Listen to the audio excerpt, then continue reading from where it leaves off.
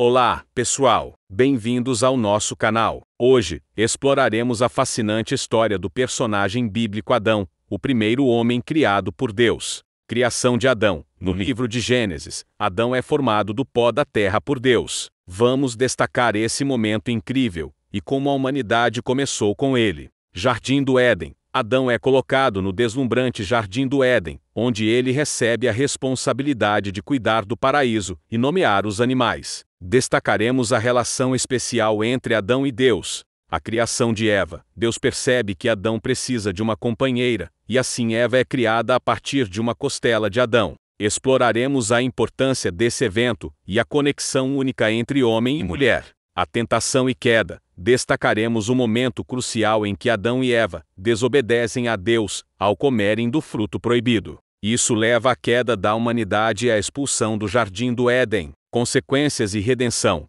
Discutiremos as consequências do pecado de Adão e Eva, mas também abordaremos a esperança da redenção, a promessa de um Salvador que eventualmente traria a salvação à humanidade. Legado de Adão. Por fim, exploraremos o legado duradouro de Adão na tradição religiosa e como sua história continua a influenciar muitas crenças e interpretações ao longo dos séculos. Conclusão: espero que tenham apreciado essa exploração da história de Adão. Se gostaram, não esqueçam de deixar um like, compartilhar e se inscrever para mais conteúdos fascinantes. Até a próxima!